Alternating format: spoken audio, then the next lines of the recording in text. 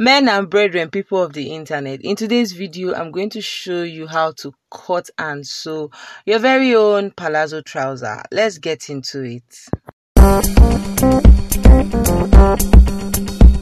So I'm starting with my fabric on a fold and you guys know I always have a starting line and that starting line is 1.5 inch.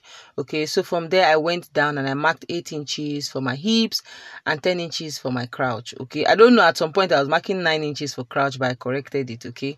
So if you don't know how to get your crouch length check it check the video in my comment section on how to take trouser measurement and calculate crouch length okay? So that's my hip line that is my crouch line. So after doing this from the top i went ahead to mark my knee line okay and that's 19 inches.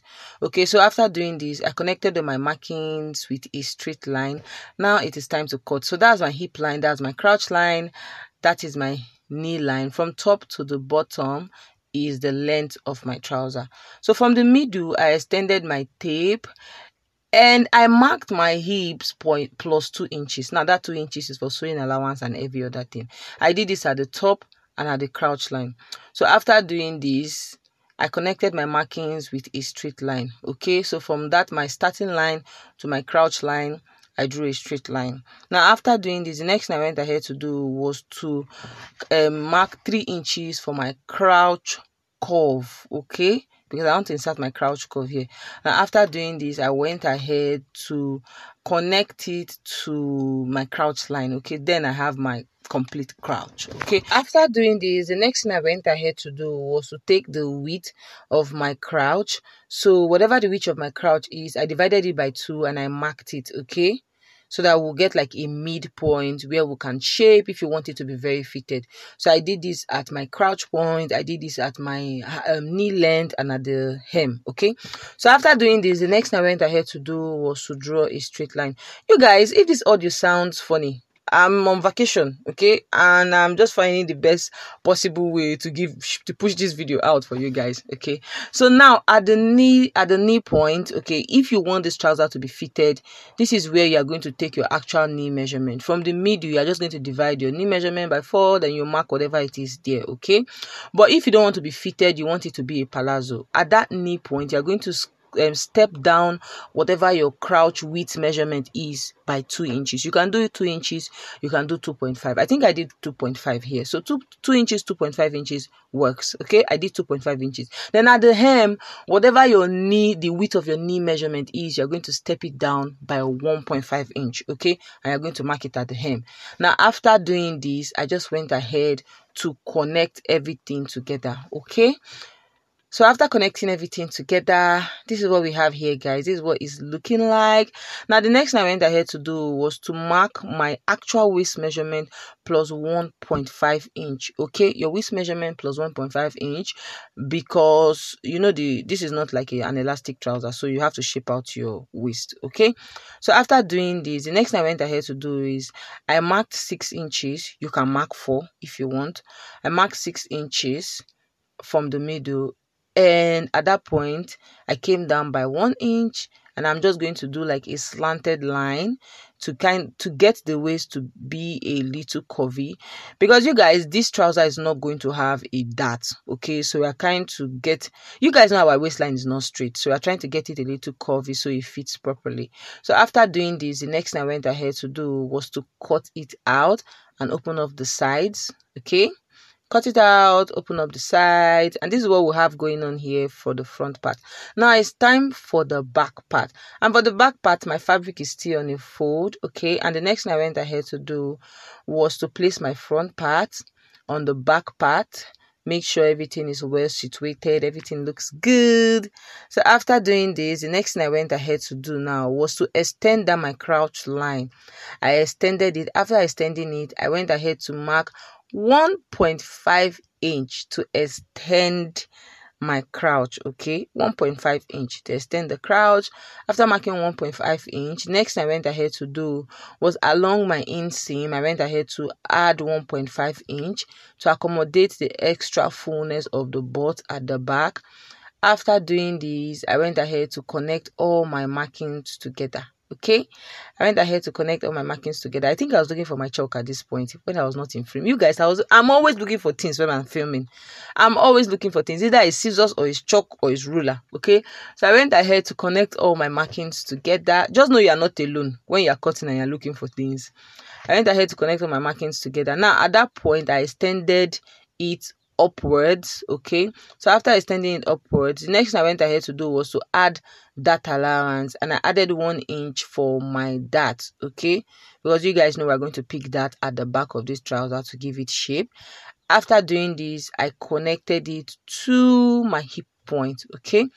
I connected it to my hip point. After connecting it to my hip point, the next thing I went ahead to do is at that point, I mark 1.5 inch after marking 1.5 inch at that point you guys know we extended that place by one inch for that allowance. Okay so after doing that you just want to keep it straight. So your measurement is approx is accurate.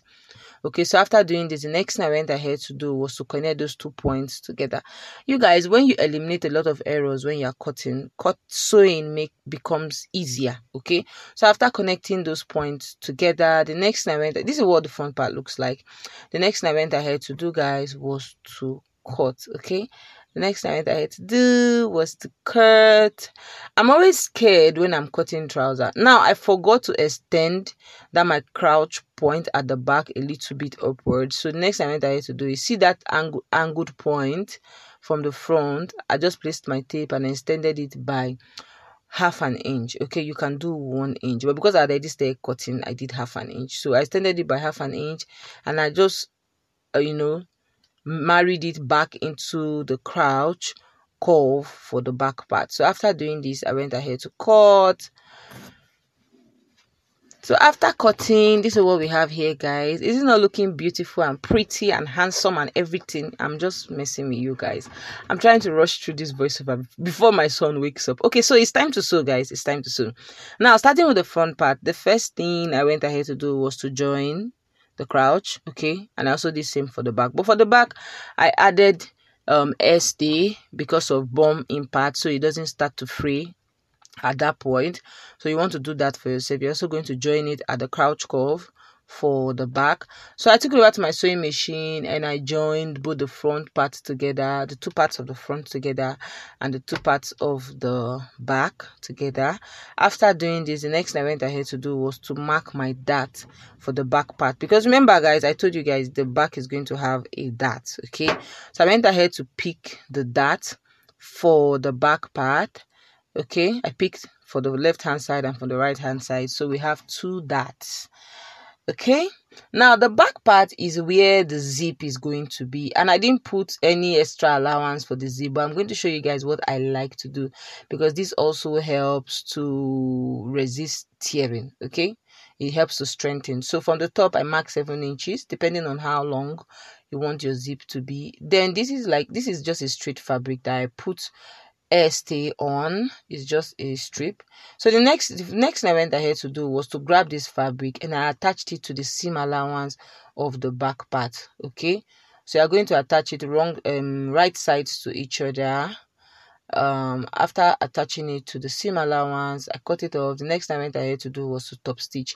You guys have said i should stop saying top stitch that is under stitch. But see i cannot learn something new in my old age so forgive me. So after doing this after top stitching and giving giving it a good press i did this for the second side. And this is what we have going on here for the back.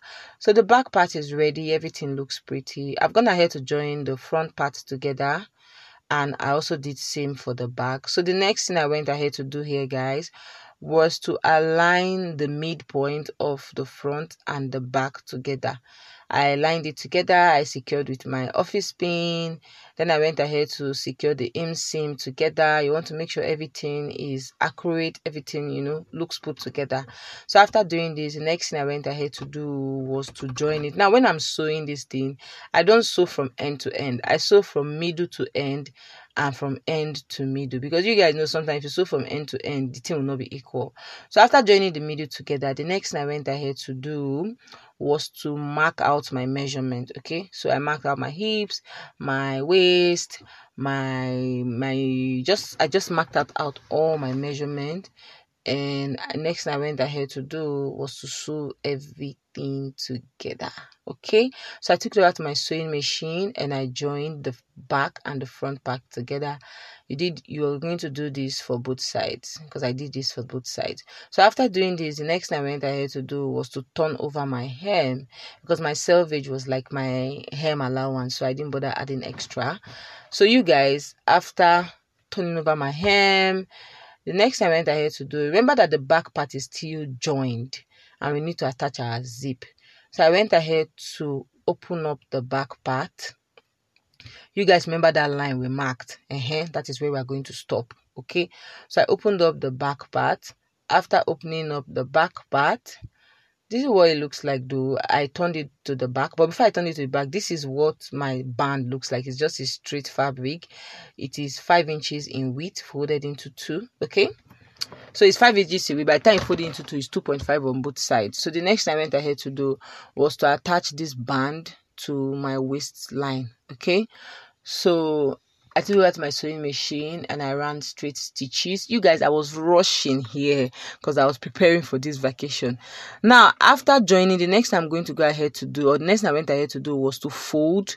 You're going to fold it just the way you saw me folding, and you're going to top stitch, okay?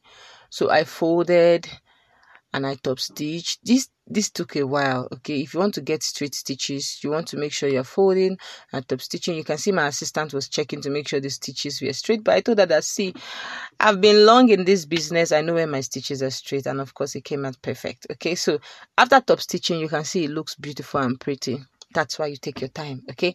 Now the next thing i went ahead to do was to attach my zip. Now this is the zip i'm working with but after this vacation i'm going to go back home and change it to a longer zip because your girl she's got butt okay? We need more allowance for the butt to easily go into the trouser okay? So now the next thing i went ahead to do was to attach this zip and after attaching this is what the beautiful palazzo trouser looks like is it not beautiful? Is it not lovely? Is it not pretty? Let me know if you're going to try out this tutorial. And of course, send me pictures on Facebook or on Instagram. If you enjoyed this video, make sure you give this video a like. Make sure you subscribe if you're watching from YouTube.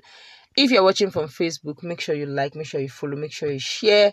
And I'll see you guys in my next video. If you're watching from YouTube, also make sure you share. I'll see you in my next video. Bye.